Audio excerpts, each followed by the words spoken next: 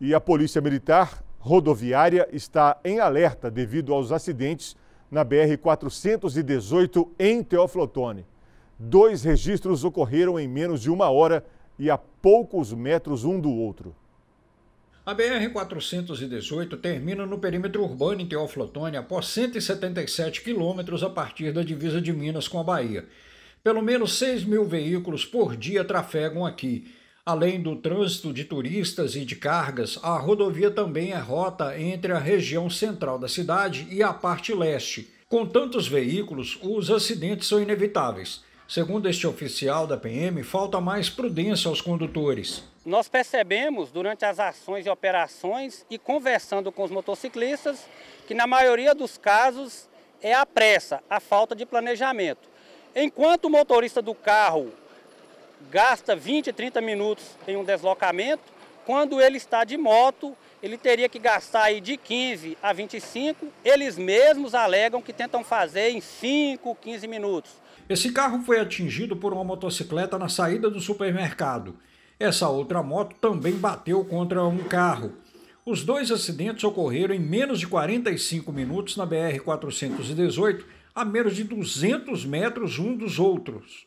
A MGC 418 em Teoflotone tem pelo menos 4 quilômetros considerados críticos pelas autoridades por conta, em parte, de alguns motoristas ao conduzir os veículos. Ela tem pelo menos 15 interseções nesses 4 quilômetros entre entrocamentos e cruzamentos e o único que tem um semáforo que funciona 24 horas por dia é este aqui, o do bairro Bela Vista. Mas nem assim ele evita os acidentes. No mesmo cruzamento houve outras situações de risco.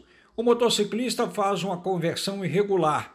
O motorista sai do bairro e vira à esquerda para a rodovia, o que não é permitido pela sinalização. Nesse mesmo trecho houve uma batida entre uma moto e um carro. Uma pessoa teve ferimentos graves. Não pretendemos autuar, multar os motociclistas, mas aqueles casos em que for detectada a infração, nós não teremos outra alternativa. É um local que passam crianças retornando de escolas, pessoas atravessando para realizarem compras e nós precisamos protegê-las. Se alguns motociclistas não estão preocupados com a sua integridade e dos demais, os órgãos públicos, inclusive a Polícia Militar Rodoviária, têm que fazer a parte e proteger a população. A Polícia Militar Rodoviária vai realizar ações de fiscalização nos próximos dias para reduzir o risco de acidentes na MGC 418 então nós pedimos tanto aos motociclistas quanto aos motoristas dos demais veículos que nos cruzamentos reduzam a velocidade e redobrem a atenção.